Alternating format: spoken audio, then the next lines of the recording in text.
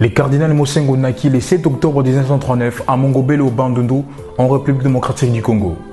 21 décembre 1963, il est ordonné prêtre pour le diocèse de Inongo. Il dirige le Parlement congolais de transition avec brio pendant 5 ans, soit du 26 décembre 1992 au mois de mai 1995.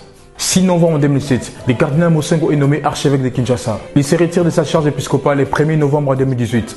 Laurent Mosengo est créé cardinal par Benoît XVI.